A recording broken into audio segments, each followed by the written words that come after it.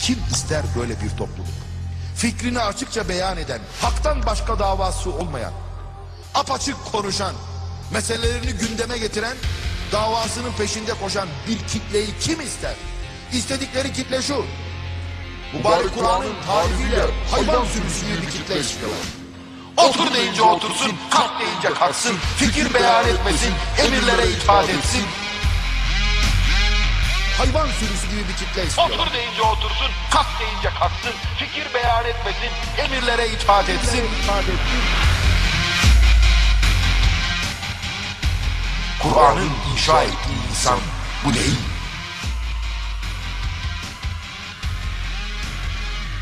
Mübarek Kur'an'la aramıza duvarlar ördüler.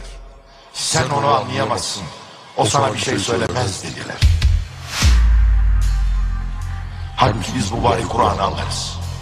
Biz mübarek Kur'an'ı anlamak mecburiyetindeyiz.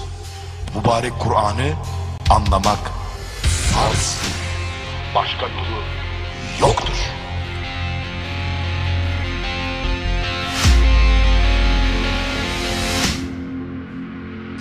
Mübarek Zuhruf suresinde 54. ayette Allah Celle Celaluhu bize Firavun'u anlatırken çok ilginç bir şey söyler. Bismillah. Festeheffe kavmehu. Kavmini aptallaştırdı diyor Allah Celle Celaluhu. Kavmini aptal, hafif, içi boş insanlar haline getirdi. Kim? Firavun. Firavun. Ne kullandı? Firavun'un kullandığı güçler neydi? Silah mıydı? İşkence miydi? Hayır. Hayır. Firavun'un emrinde çalışan sihirbazlardı. Halkın gözünü boyuyorlardı. Onlara yalanlar söylüyorlardı. Kafalarını karıştırıyorlardı. Var olanı yok, yok olanı varmış gibi gösteriyorlardı. İnsanlar da ağızları bir karış açık onları seyrediyorlardı. Peki bu ayet-i kerime bugün için bize bir şey söylemiyor mu?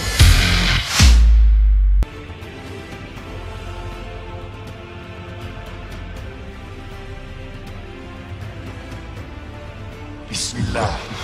Daha sonra bu elçilerin ardından Musa'yı mucizelerimizle Firavun'a ve onun ileri gelen adamlarına gönderdik. Ancak onlar bu mucizeleri inkar ettiler.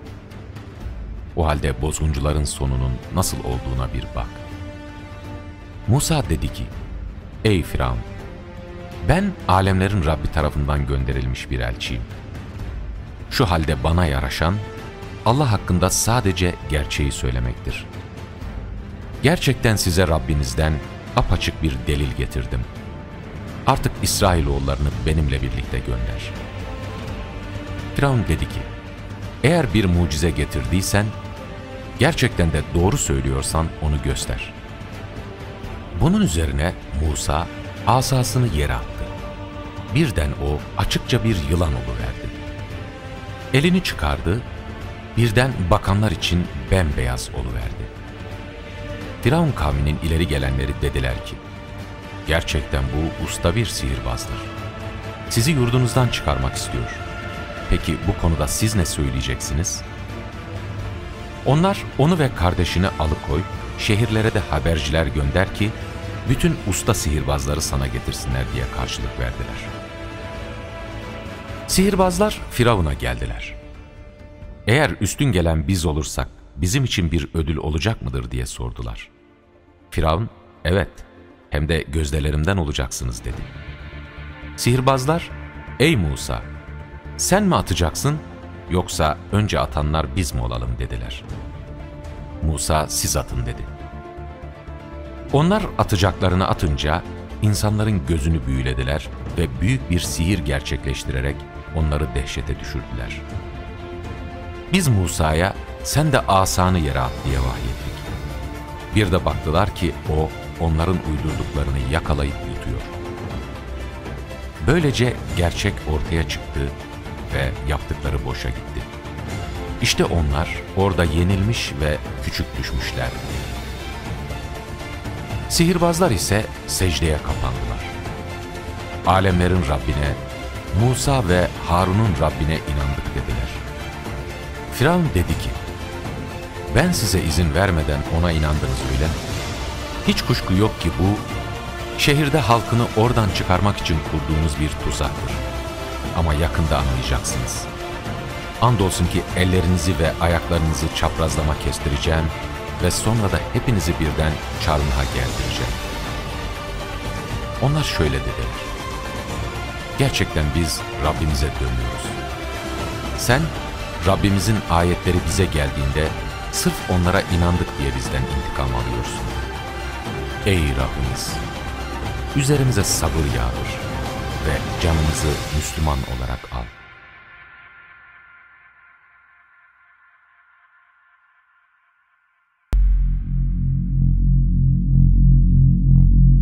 Gördükleriniz gerçek. Gördükleriniz gerçek diyor. Nasıl ya televizyonda nasıl gerçeği görebilirim? Hangi kamera hangi açıdan gösteriyor neyin ne olduğunu? Biz belki yemiyoruz ama bizden sonraki kuşaklar televizyonda onlara gösterilen her şeye Gördükleriniz gerçek.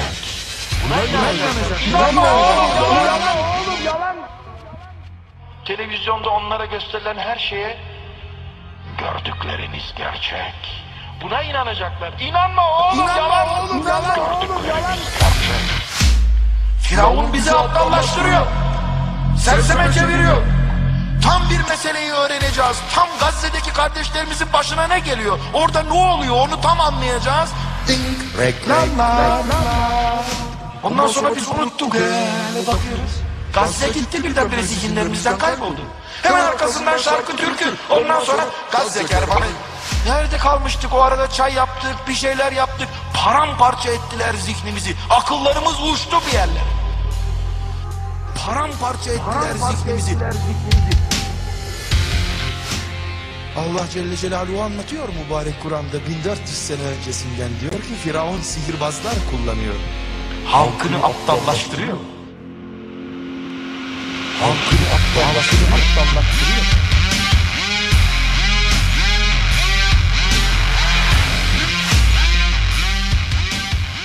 Şöyle mi diyeceğiz? Allah bizi uyarmıştı. Ona inanmalıydık. Allah'ın kitabını konuşan yok.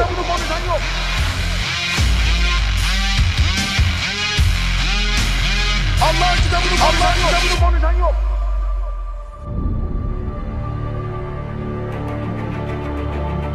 Biz bu ayetleri okusak bu oyunlara gelir miyiz?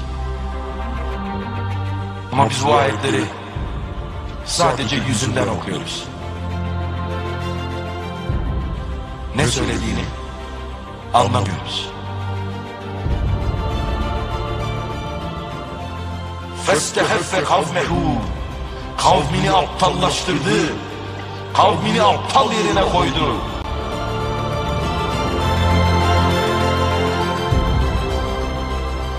Okumak ve anlamak yetmez.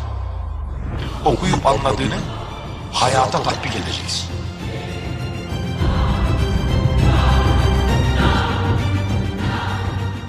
Yapacak bir tek şey var çok kolay. Mübarek Kur'an'a gideceğiz.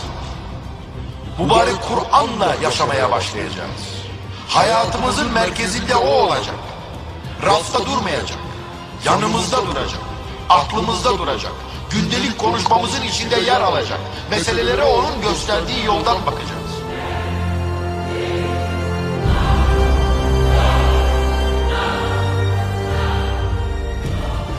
Fazla vakit kaybetmeden güzel bir abdest alın.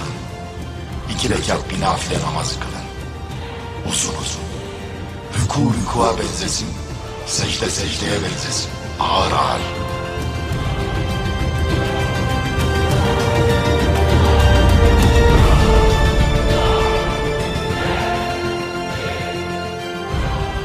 Rabbim kalbimi vahyine aç. Vahyini kalbime aç. Bugüne kadar ihmal ettiklerimi düzeltme imkanı bana ver.